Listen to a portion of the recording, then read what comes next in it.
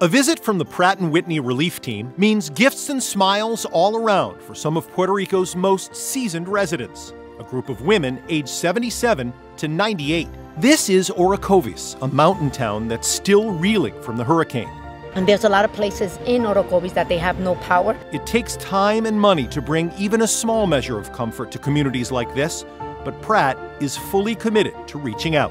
They have no power, very limited protection from mosquitoes, so we have mosquito traps for them. We brought them a generator, water, tents so they can take showers. This is an honor for me. It's a blessing, and I know that someday I will get my blessings back.